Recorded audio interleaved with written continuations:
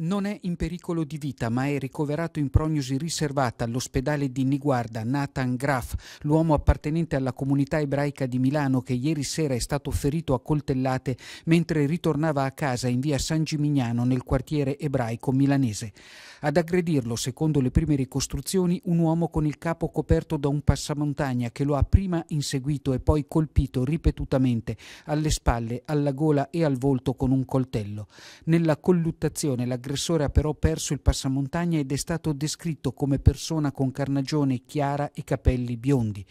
Quarantenne, genero di un rabbino di origine afghana, Nathan Graf indossava la kippah, il tradizionale copricapo ebraico, ed era quindi riconoscibile.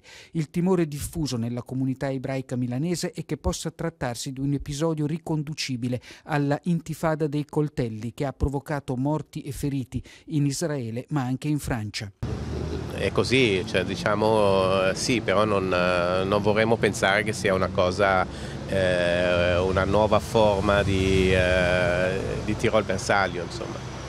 L'episodio ha avuto grande risalto in Israele, anche se al momento non è ancora chiaro il movente dell'aggressione.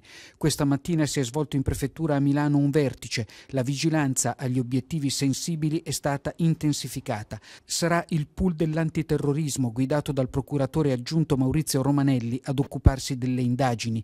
La situazione nel quartiere ebraico di Milano appare oggi tranquilla e anche la scuola ebraica che vi si trova è regolarmente aperta, ma presidiata dalle forze dell'ordine. Una condanna senza se e senza ma di quanto accaduto è stata espressa anche dall'Istituto Culturale Islamico di Viale Jenner a Milano.